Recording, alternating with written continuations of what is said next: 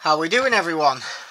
It's Ace here from RCC and another little interesting build to show everyone. Interesting in a way that I'll explain to you in a minute. First of all the build, it is a right hand hold Microraptor.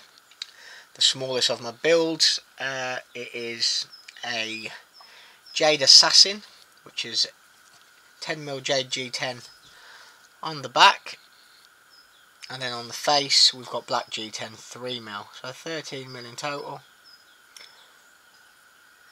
Slanted tips custom order.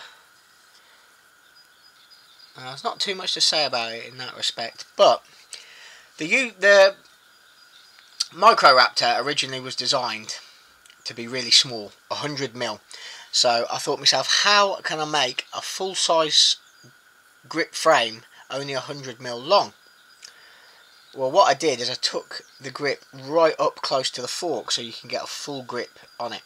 Don't get me wrong, if you've got a really large hand you might struggle with it, but for the average hand you can you can get away with it. And a little bit of clever shaping here and there and I can make it work for people. But this one was requested at 110mm. So 10mm longer on the handle. Now I've put that length three quarters of the way up, round about here. So it's kept the the angle of the handle going away. So it kind of comes away a little bit more here than it would. Only 2-3 mil, but it's changed the direction slightly. But I felt it was the best place to add it up here than adding it down here. Because it'd make the handle come maybe a little bit square.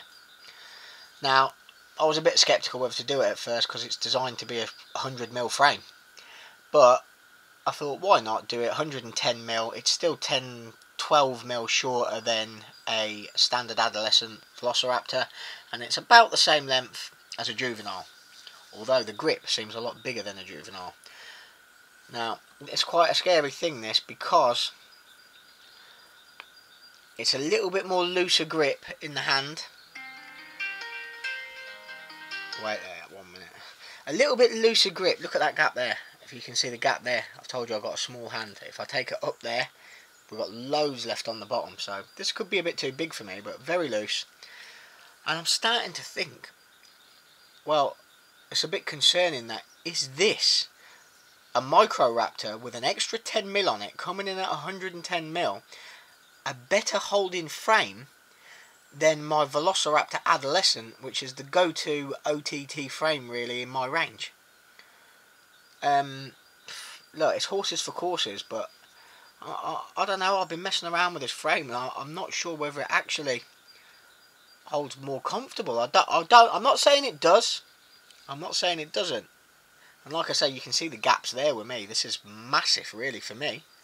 You can get away a lot. Look, fancy that. A frame that's 110 mil long feels massive in the hand. Loads of room on it. But that is a short frame at 110. It's 12 mil shorter than the Adolescent. So yeah, a very interesting scenario. Microraptor at 110 mil long. Scarily comfortable. I don't know. Be interesting to get people's opinions. A lot of people like smaller frames. But that's all I can tell you on that build. I will be back soon enough with some other builds for 2021. We've got loads lined up. Loads to share. So I'll see you all soon.